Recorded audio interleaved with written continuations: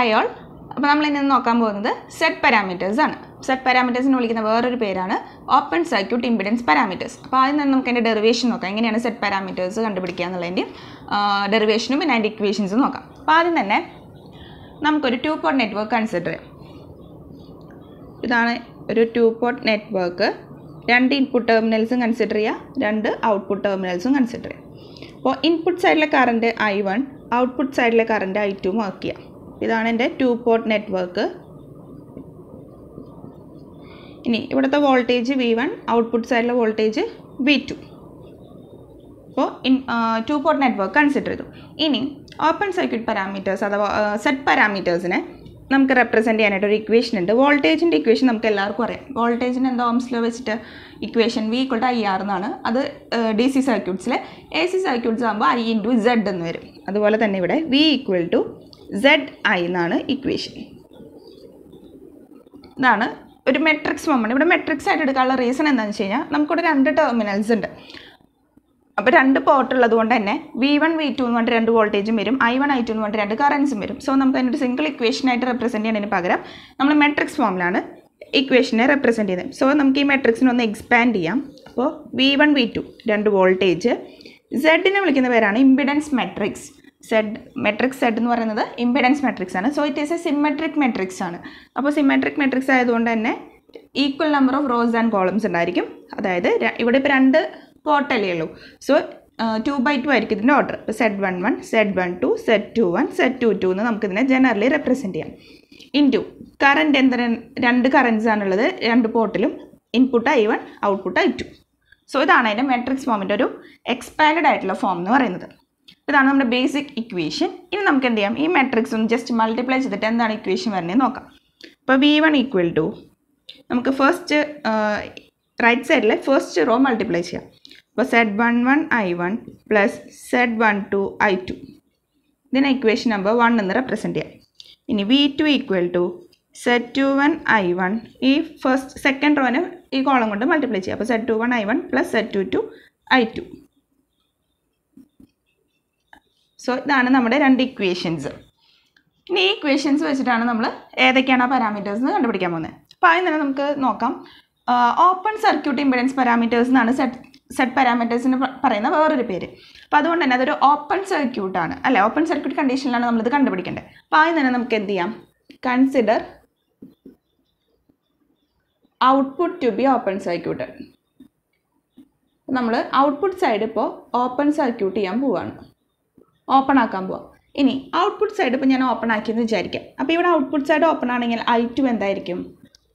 Zero ആയിരിക്കും. അല്ലേ? Open സർക്യൂട്ടിൽ കൂടെ ഒരിക്കലും കറണ്ട് ഫ്ലോ ചെയ്യില്ല. ഞാനിപ്പോൾ ഔട്ട്പുട്ട് സൈഡ് മാത്രമാണ് ഓപ്പൺ ചെയ്തിരിക്കുന്നത്. അതുകൊണ്ട് തന്നെ ഔട്ട്പുട്ട് സൈഡിലെ കറണ്ട് ഐ ടു സീറോ ആയി. അപ്പോൾ ഈ I two equal to zero എന്നുള്ള കണ്ടീഷൻ നമ്മളിപ്പോൾ രണ്ട് ഇക്വേഷൻസ് ഇവിടെ മാർക്ക് ചെയ്തിട്ടുണ്ട്. ആ രണ്ട് ഇക്വേഷൻസിൽ സബ്സ്റ്റിറ്റ്യൂട്ട് ചെയ്യാം. അങ്ങനെ സബ്സ്റ്റിറ്റ്യൂട്ട് ചെയ്യുമ്പോൾ നമുക്ക് V one equal to Z one one I one എന്ന് കിട്ടും. V two equal to Z two one I one എന്ന് കിട്ടും. അതായത് ഐ ടുവിന്റെ രണ്ട് ടേംസും സീറോ ആയി അങ്ങനെയാണെങ്കിൽ നമുക്ക് ഇതിൽ നിന്ന് സെഡ് വൺ വൺ എന്ത് വരും? V one by I one എന്ന് കിട്ടും. അതുപോലെ Z two one equal to V two by I എന്നും കിട്ടും.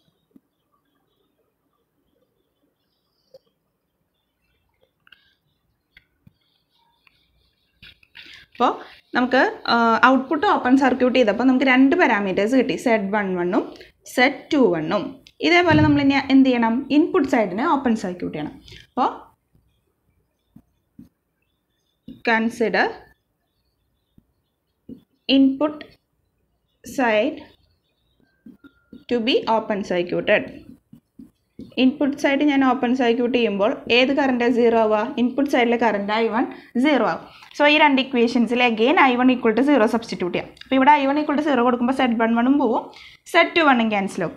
പകരം V one equal to Z one one Z one two I two എന്നും V two equal to Z two two I two എന്നും കിട്ടും. അതായത് Z one two equal to V one by I two എന്ന് കിട്ടും. Z two two equal to V two by I two എന്ന് കിട്ടും. ഈ രണ്ട് ഇക്വേഷൻസിൽ നിന്ന് അപ്പോൾ ഇതാണ് നമ്മുടെ നാല് Z parameters Z one one Z two one Z two two Z one two അതിൽ സെഡ് വൺ വൺ നിങ്ങൾക്ക് ഓർത്തിരിക്കാൻ എളുപ്പത്തിന് ഒരു ഈസി മെത്തേഡ് പറയാം. സെഡ് വൺ വൺ ആകുമ്പോൾ ഇവിടെ വൺ വൺ അല്ലേ? സബ്സ് ഇത് കൊടുത്തിരിക്കുന്നത് നമ്മൾ സഫിക്സിൽ സോ സെഡ് വൺ വൺ ആകുമ്പോൾ ആദ്യം എപ്പോഴും സെഡ് എന്താണ്? ഇമ്പിഡൻസ് ആണ്. സോ സെഡിന്റെ ജനറൽ ഫോം എന്ന് പറയുന്നത് വി ബൈ ഐ ആണ്. സോ വി ബൈ ഐ ആണ് എല്ലാ ഇക്വേഷൻസിലും വി ബൈ ഐ തന്നെ വരിക.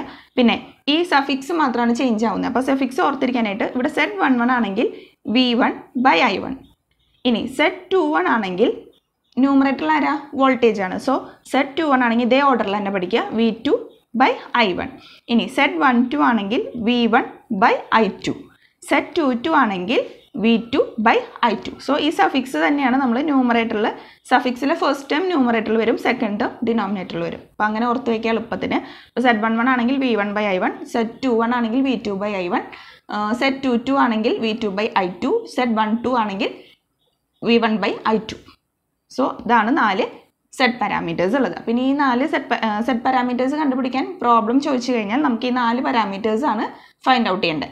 അപ്പോൾ ഈ നാല് പാരാമീറ്റേഴ്സിന്റെ ഇക്വേഷൻസ് ഞങ്ങൾക്ക് ഓർമ്മയിൽ ഉണ്ടാവണം അത് ബൈ ഹാർട്ട് ചെയ്യാൻ ബുദ്ധിമുട്ടുള്ളത്. ഇപ്പം ഞാൻ പറഞ്ഞ പോലെ സഫിക്സ് ഓർത്ത് വെച്ചിട്ട് എഴുതിയാലും മതി. പിന്നെ കുറച്ച് പ്രോബ്ലംസ് ചെയ്യുമ്പോൾ നിങ്ങൾക്ക് അത് ഒരു ഈസി മെത്തേഡായിട്ട് തോന്നും. അല്ലെങ്കിൽ കുറച്ചും കൂടെ നിങ്ങൾ അതിനെ ഫെമിലിയർ ആവും. സോ അപ്പോൾ ഈ നാല് ഇക്വേഷൻസ് അല്ലെങ്കിൽ നാല് ഫോർമുലാസ് ഓർത്ത് വയ്ക്കുക എന്നിട്ട് നമുക്കിനി നെക്സ്റ്റ് ഇതിന്റെ പ്രോബ്ലംസ് ഏതൊക്കെയാണെന്ന് നോക്കാം.